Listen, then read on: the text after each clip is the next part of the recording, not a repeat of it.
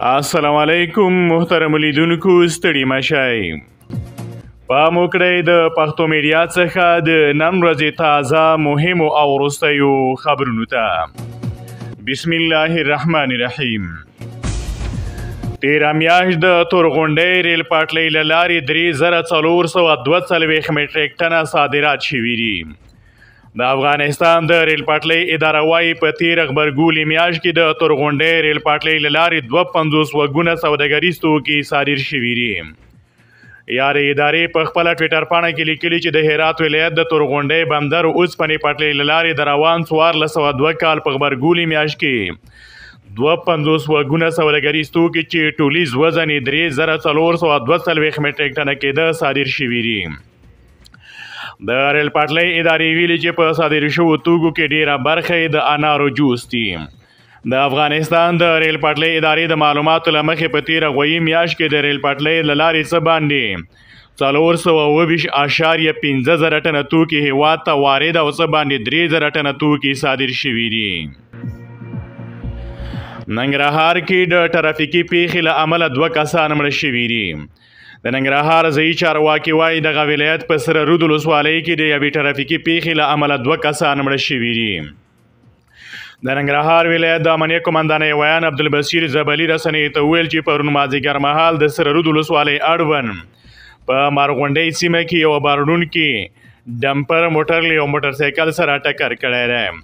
هغه زیاته کړې چې په یاده پیښه کې پر موټر سایکل سپاره دوه کسان ځای پر ځای مړه شوي دي د نوموړي د معلوماتو له مخې موټر چلوونکی له سیمې تښتېدلی او موټر یې پاتې دی خو د نیولو هڅې روانې دي د هغه په وینا یاده پیښه د موټر چلوونکي د بې احتیاطۍ له امله رامنځته شوې ده اوتونبای وایي چې د یو ټول شموله حکومت نشتون د افغانستان د بې ثباتۍ لامل کېدای شي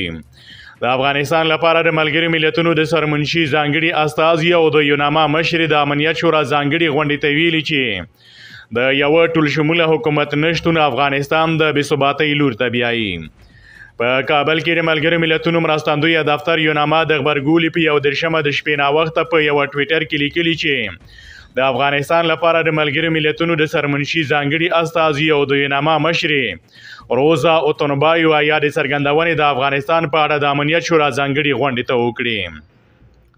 سرچینې زیاته کړې چې نوموړي سرپرست حکومت منځوي او استبدادي وباله او ویل چې دغه حکومت غړي ټول سړي او نږدې ټولې پښتانه دي هغه ویل چې د یو ټول شموله حکومت نشتون افغانستان د بې ثباتۍ لور ته بیایي او تنبای وضعیت کړي چې ملګری ملتونه په افغانستان کې له خورا پیچلي وضعیت سره مخ دي سرپرست حکومت د ملګرو ملتونو خزینه کارکونکي له کوم دلیل پرته له کار کولو منع کړي دي په افغانستان کې د نوي حکومت له وکمنېدو وروسته د خزو او انجونو پر کار او تعلیمي فعالیتونو محدودیتونه وضع کړي دي د یوناما مشر او تنبا یو اصل سرپرست حکومت وغوښتل چې که غواړي د رسمیت پیژندلو پر لوري ګام پورته شي او د ملګرو ملتونو ادارې په اغیزناکه توګه د افغانستان له خلکو سره مرسته وکړي باید دغه بندیزونه لغوه کړي هغې د کوکنارو د کرکیلي کمیدو هرکلی وکړ او له نړیوالې ټولنې او مرسته کوونکو هیوادونو یې وغوښتل چې د بدیل کښت لپاره له کروندګرو سره مرسته وکړي په افغانستان کې د ملګرو ملتونو د سرمنشي ځانګړي اساد یو ځل بیا ټینګار وکړ چې په موثره توګه د بشردوستانه مرستو رسول د نړیوالو قوانینو له مخې د ښځو په ګډون ټولو بشردوستانه سازمانونو ته بشپړ ګړندي خوندي او بې خنډه لاسرسي ته اړتیا لري او د ملګرو ملتونو په ادارو کې د ښځو د کار مخنیوي پر مخنیوي او محدودیتونو سربېره د ملګرو ملتونو پر فعالیتونو منفي او جدي اغیزه کړې او د افغانستان لپاره د بشري مرستو د کمښت لامل شوه مېرمنو تنبای او د دې غونډې نورو ګډونوالو د ملګرو ملتونو امنیت شورا د 2681 شمیرې پریکړه لیک ملاتړ وکړ او له طالبانو یې وغوښتل چې درناوی ورته وکړي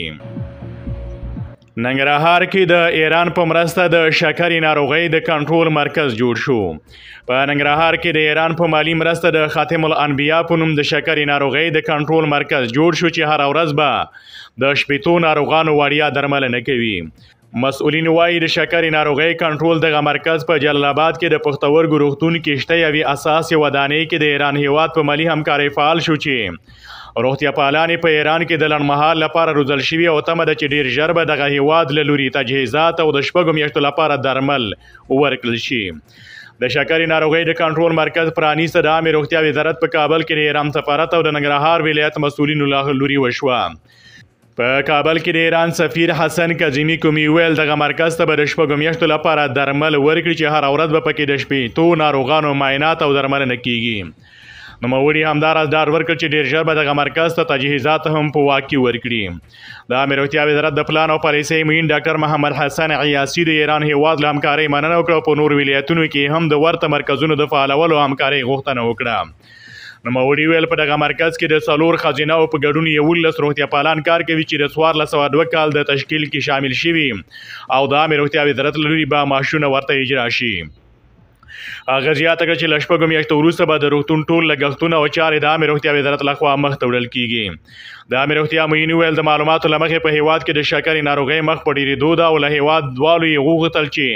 له دغې ناروغۍ څخه د ځان ساتنې په موخه له د قیاوي لارو چارو کار واخلي تر ایران وړاندې په ننګرهار کې د پاکستان لخوا د پښتورګو ناروغۍ د درملنې ځانګړي مجاهد روغتون هم جوړ شوی و تورخم کې درې سوه اووه شپېته کیلوګرامه نشهیي توکي ترلاسه شوي د ننګرهار حکومتي مسولین وایي په تورخم ښارګوټي کې درې سوه اووه شپېته کیلوګرامه نشهیي توکي چې پاکستان ته قاچاق کېدل ترلاسه شوي دي مسولین وایي په دغه نشهيي توکو کې چرس هیروین او شیشه شامل دي چې په تړاو یو کس له دوه لارې موټرو سره نیول شوی دی د ترخم ښارګوټي د استخباراتو مدیر محمد اقبال تکل وایي د تلاشۍ پر مهال یو کس له دوه لارې موټرو سره نیول چې پاکستان ته نشهيي توکي کچا کول هغه وایي په ترلاسه شوو توکو کې درې سوه شپږ کیلوګرامه چرس نږدې لس کیلوګرامه هیروین پوډر او یو پنځوس کیلوګرامه د شیشې په نوم نشهيي توکي شامل دي هغه زیاته کړه چې دغه نشه یي توکو په تړاو یو کس او دوه لارۍ موټر چې دغه توکي پکې ځای پر ځای شوي وو هم نیول شوي دي د استخباراتو مدیر وايي نیول شوي کس نشه یي توکي او لارۍ موټرونه به د نورو پلټنو او وروستیو اقداماتو په تړاو د ننګرهار د استخباراتو ریاست ته ولیږل شي تر دې وړاندې هم په ترخم ښارګوټي کې د قیمتي ډبرو تاریخي آثارو او نورو توکو د قاچاق مخه نیول شوې ده د پښتو میډیا درنو لیدونکو دا او د پښتو میډیا څخه د نن ورځې تازه مهم او وروستي خبرونه له توجه او غوږنیونې مو یوه